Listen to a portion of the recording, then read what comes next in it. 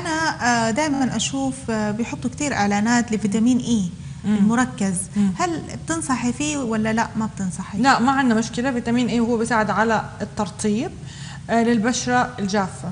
بس في كتير خطأ بيصير إنه مثلا في ناس كثير عم يستخدموا يعني كل شيء بيشوفوه تجاري أو كل شيء بيشوفوه نصايح بيقوم بيستخدموه. وهذا. خطأ. في بشرات دهنية ما لازم تستخدم آه فيتامين إي أو مثلا إذا استخدمتها في شيء آه ترطيب خاص للبشرة الدهنية.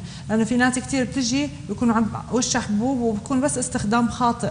يعني بشرتها ما فيها شيء استخدام الخاطئ هو اللي عم يسوي لها المشكلة. البشرة الدهنية يا جماعة لازم يكون ترطيب خاص للبشرة الدهنية. أما البشرة الجافة فيها تستخدم فيتامين إي فيها تستخدم آه، آه، ترطيب عميق ما عندنا مشكلة هذا الفيتامين المركز آه، هل يخلطوه مع كريم ثاني ولا مم. يستخدم كذا فيك تستخدميه pure فيك تستخدميه خلط. ما عندي مشكلة. خلط الكريمات مو سيء إلا إلا إذا كانت أحماض إلا إذا كانت آه تقشير. فهمتي كيف؟ هذا الممنوع.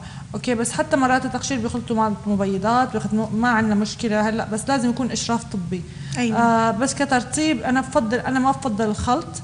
أنا بفضل إنه آه، ما نلخبط هالأشياء كثير بس مرات يعني ما إحنا بنستخدم مثلا السيروم بنستخدمه قبل الكريم. هلأ إذا كان بشرتك كثير جافة الطبيعي لازم تغسلي وجهك صباح والمساء. نسينا نكمل الموضوع إنه الواقي لما تعرضي للشمس أو حرارة.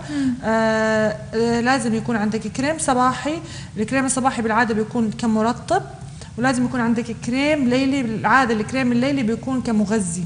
يعني بيكون ريتش شوي هيك تلاقيه سميك فيتامينات أي بيكون مغذي أكثر هلأ إذا بشرتك كثير جافة مرات بنحتاج نستخدم سيروم بالليل وفوقه الكريم.